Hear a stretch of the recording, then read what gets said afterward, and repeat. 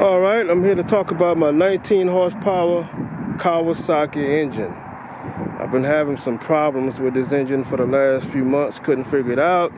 Did some repairs. I put a brand new carburetor on it, um, replaced the valves. Still was having issues. I replaced the um, fuel filter. Uh, was having problems still. I spent a bunch of money and what I came up with was this. If y'all are having the same problem,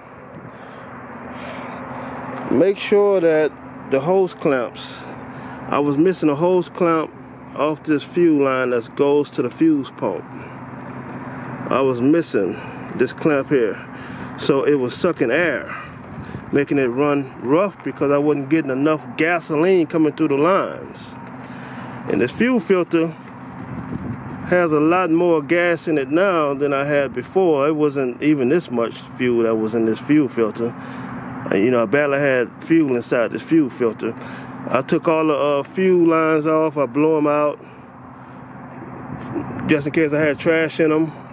Because I had a little trash in my gas tank because I seen trash inside my fuel filter. So this is a brand new fuel filter. I took off all these lines and took an air compressor and blew it out. And uh, I also took off this valve, this fuel shut-off valve. Took that off, blew that out, made sure I got all the trash out of that. But the bottom line was after spending money on a carburetor and changing the valves and putting brand new cars on here, I still was having the problem and come to find out you guys are going to have to check these hose clamps because they can be worn out or even missing. So the best way to, to see if it's bad for the clamps is kind of gently pull on your fuel line to see if you have any movement. If you have movement, you need to replace these clamps because it's sucking air and it, not enough uh, fuel is coming through the lines. And I'm glad I was able to see it through the um, fuel filter that I didn't have enough fuel inside the fuel filter. Also, guys, what you want to check inside of this fuel tank, you have a fuel line that goes inside of this fuel tank.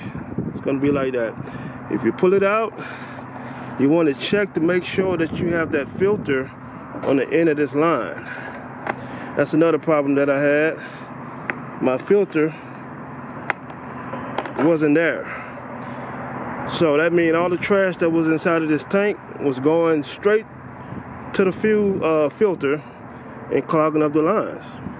So you might want to take this line off to make sure that this filter that's at the end of this line got a filter here. Mine was missing. You guys might can get this kit, or this the kit that I use right here. That's the model number. And it comes with everything in it, man. Um, fuel filter, air filter, this is what all inside the box right here. Got, got port numbers for everything. So, ah, yep.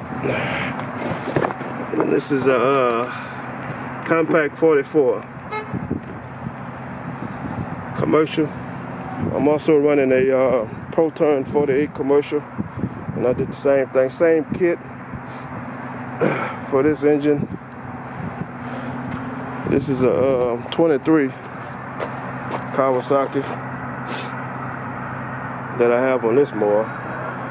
But this one right here, this compact has been giving me the most problems for some months. Just running rough. Couldn't figure it out, man. I was, man, I was getting frustrated. Uh, but we got it, so there you go. I just wanted y'all to get like some heads up because I, you know, I've seen on YouTube a lot of people having the same problem with the rough idle and everything. So this is my setup that I have.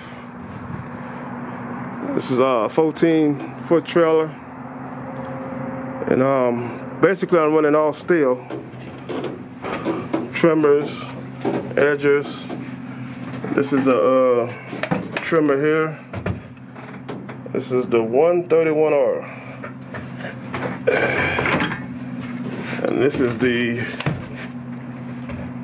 another 131R.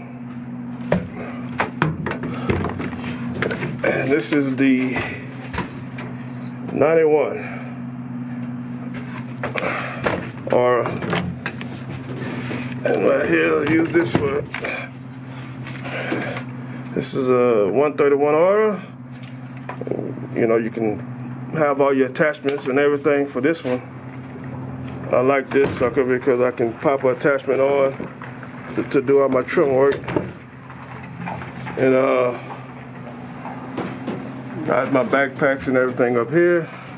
I'm using uh Gatorline I'm using Gatorline right there 105 Gatorline Here's trimmer here. I just put a bunch of my earplugs and boots and stuff that's inside this bag. Let's catch a bag for my push mower. See, I got the uh, Stihl BR 600. I got two of those hanging up. Guys, I'm telling you, uh, a lot of people don't use face shields. I don't know why, but I'm telling you, you might want to start using face shields, man. This thing is a lifesaver. It saved my face, eyes, and everything from bottle glass, nails, you name it. Dog poop. Dog poop is the main one. You go to a customer yard and they have poop, and you start trimming and weed eating, and you don't see the poop, and the line hit the poop, go all in your face. But you have the face shield, you know you're good. Always have a first aid kit. That's very important. Have a first aid kit. Shop towers my push mower go go right here on this hook, and I have another hook for another push mower that goes here. Got some just some whatnot down there. Uh, what else?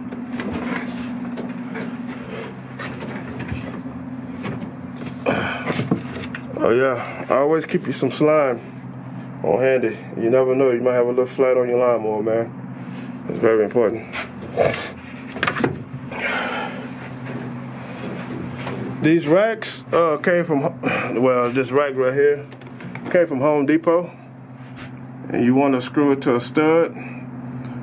And uh, I just hang my weed eaters up. A lot of people don't hang them like this, but if you hang it like this, you will have more space to fill up this wall with all your equipment. You see? Most people don't hang their trimmers like this, but I'm telling you guys, you can save a lot of space if you hang it. And these little hooks, you know, like I said, came from Home Depot. You might have to bend these hooks up a little so it can hold your equipment off the floor. Because I had to bend it a little bit. Um, so it can hold, you know, the trimmer so it don't be dragging on the floor. They're just swinging freely off the floor here. See that with no problem. It swings. Alright, this is what it looked like when everything is in the trailer. I got my lawnmowers to the left so I can have this aisle right here for walk down. And this is how it is when everything is in here. Like I said, I have this for my uh, push mower to keep it in place. This little hook, real simple, works fine. But this how it looks, peoples. I love it, man. It's a nice little setup, real clean and neat. So that's how that's how I'm doing it. That's what I'm working with. All right, we'll see y'all.